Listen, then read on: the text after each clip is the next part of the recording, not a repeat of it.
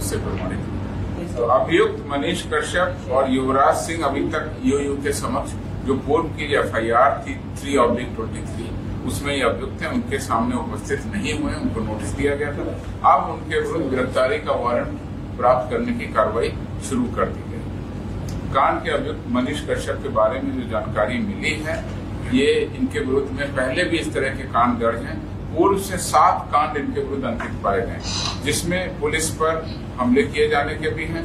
पुलवामा घटना के बाद पटना के लांसा मार्केट में कश्मीरी दुकानदारों के पीटने के आरोप में भी ये जेल जा चुके हैं और पूर्व में भी कई इस प्रकार की गलत पोस्ट करने और भड़काऊ पोस्ट करने में लिप्त रहे हैं। कांड दर्ज होने के बाद वो फरार हैं। इस संबंध में यूयू लीगल कार्रवाई उनके विरुद्ध कर रही है। एक अन्य अभियुक्त युवराज सिंह जो थे वो तीन महीनों से नारायणपुर, भोजपुर के गोलीबारी कांड में फरार हैं।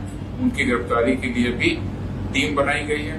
और यह जानकारी आपको दे दें कि युवराज सिंह के विरुद्ध तमिलनाडु के कोयम्बटूर में भी एक फर्जी वीडियो बनाने का काम दर्ज किया गया तमिलनाडु पुलिस से जो सूचना मिली है, उसके अनुसार उनके यहाँ कुल तेरह इस तरह के कांड अंकित कर लिए गए हैं, जिसमें फर्जी वीडियो बनाकर भ्रामक और असत्य और उन्माद फैलाने वाले वीडियो को अपलोड किया गया, प्रसारित किया गया प्रचारित किया गया। वहाँ की टीम बिहार आकर के भी अपना अनुसंधान कर रही है और प्राप्त जानकारी के अनुसार अन्य राज्यों, जैसे उत्तर प्रदेश, मध्य प्रदेश या दिल्ली वगैरह, जहाँ भी उनको जाना है, वो तमिलनाडु पुलिस वहाँ जाकर के अपना अनुसंधान कर रही है। इसी क्रम में एक समाचार पत्र में खबी छपर मधुबनी के युवक की तमिलनाडु में हत्या।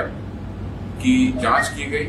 इसमें पुलिस अधीक्षक तिरुपुर तमिलनाडु के द्वारा खंडन करते हुए इसे पारिवारिक कलह के कारण आत्महत्या बनाया बताया गया।